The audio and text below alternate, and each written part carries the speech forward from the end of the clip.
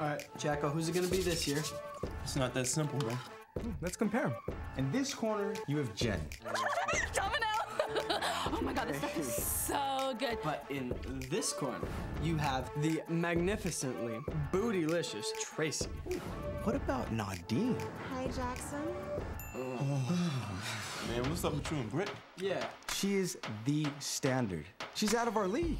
Will you marry me? At the end of summer party blowout, plans are made. It's all part of my secret mission. That's dastardly. uh, it won't make me grow tits, what?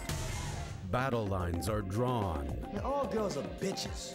They want attention, want to be pampered. Me, me, me. It's all about them.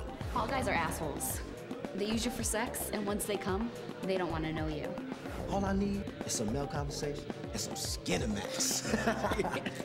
There'll be winners Yo, yo, yo! and losers. What's crack-a-lackin', my peoples? Oh, yo! Hell, get your white ass away from me. Why you gotta call me white and shit, man? You know I be tanning. Go, hurry up! Prisoners are taken.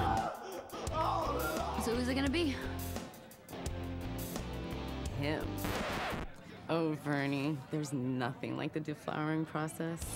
But for some, the pressure is too much. Maybe a burrito for breakfast wasn't such a good idea. It's sex, So, what they say about black men is true, huh? Come here. Don't worry. I'll be gentle. drugs, and rock and roll.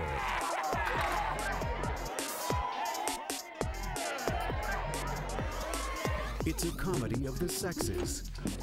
Oh, you can't stop the... It's hormones.